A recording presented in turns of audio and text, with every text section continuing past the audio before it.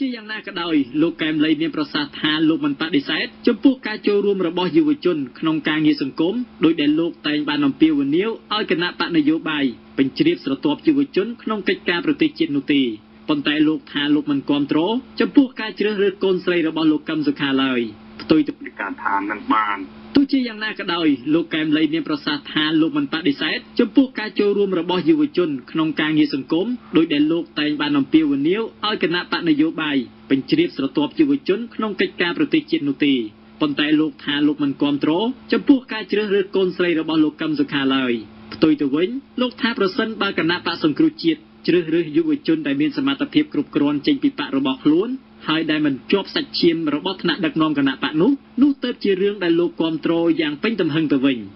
ពីការឋាននឹងបានទោះជាយ៉ាងណាក៏ដោយលោកកែមលីមានប្រសាសន៍ថាលោកមិនបដិសេធចំពោះការចូលរួមរបស់យុវជនក្នុងការងារសង្គមដោយដែលលោកតែងបានអំពាវនាវឲ្យគណៈបកនយោបាយបញ្ជ្រាបស្រទាប់យុវជនក្នុងកិច្ចការប្រទេសជាតិនោះទេប៉ុន្តែលោកថាលោកមិនគ្រប់គ្រងចំពោះការជ្រើសរើសកូនស្រីរបស់លោកកឹមសុខាឡើយ ផ្ទុយទៅវិញលោកថាប្រសិនបើគណៈបកសង្គ្រោះជាតិជ្រើសរើសយុវជនដែលមានសមត្ថភាពគ្រប់គ្រាន់ចេញពីបករបស់ខ្លួនហើយដែលមិនជាប់សាច់ឈាមរបស់ថ្នាក់ដឹកនាំគណៈបកនោះនោះទៅជារឿងដែលលោកគ្រប់គ្រងយ៉ាងពេញទំហឹងទៅវិញ